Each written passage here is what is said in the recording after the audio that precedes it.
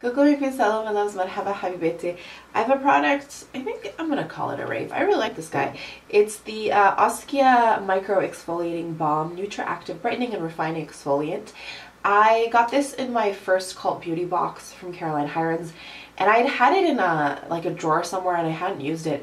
And then when she announced her most recent box this was in it, I was like, huh, maybe I should go try that out. Uh, retails for 48 pounds on um, cultbeauty.com. That's where I would get mine. It's just easy with free worldwide shipping, right? Um, and basically what it is, it's an exfoliating balm. So it comes in this glass packaging and you get how much product? 1.7 ounces of product. Um, and then it comes like so. It's a white balm and when you you know, take it off your finger, it looks like that, and then you rub it in. You don't see the granulars, but as soon as you start rubbing, you can feel them. Exfoliate my hand as I talk to you. Um, it has an interesting very like spa smell. Like it's kind of relaxing the minute you put it on. It's strange. Um, but I like that. A lot of luxury products, I feel like part of what you're paying for is a spa experience, right? Because as you're doing your skincare, you're getting some of that self-care, that self-love, and so you want you want the sensorial experience to be good. So it's the first selling point, I think, on this guy. So what happens basically, it's an exfoliator, right? So it's, it's a physical exfoliator.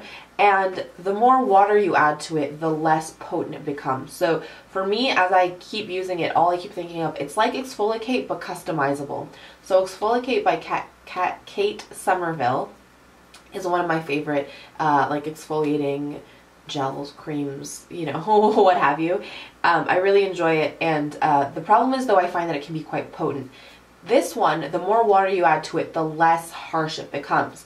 If you need a good exfoliation, so I needed a nice, really good exfoliation last night, and I used it straight on, and by kind of 45 seconds in, my skin started feeling like almost numb between the friction it was getting from, you know, me rubbing it and what have you, which was good because I felt like I was getting in there for a deep exfoliation.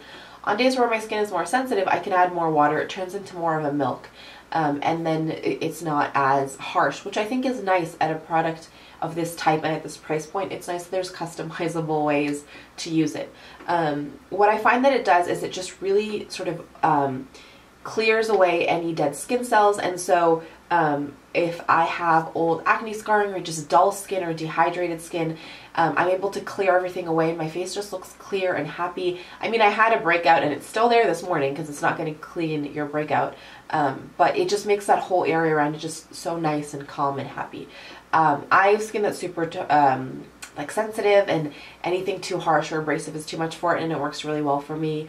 Um, and I think again because of the customizable ways to use it it can work well for a variety of people. So um, a big thumbs up on this and I highly recommend it. I know it's expensive but a little bit goes a long way and you're not going to use it more than two max three times a week so you'll have a lot of it to go around um, but yeah, any questions, comments, your experiences with it, leave those for us down below and we'll go from there. My first, I'll do some points of positivity. My first point of positivity is makeup that's making me happy. I keep like sneaking looks at myself in the viewfinder um, and I'm trying to focus on you guys but I have really been enjoying it. The second is a really uh, great brew of peach iced tea that I made last night which uh, can be nice and hydrated into the evening which made me happy and then my third point of positivity is getting to sleep in a couple extra hours this morning. I decided to go for a run instead of going to the gym so I got to sleep in a little bit which was nice.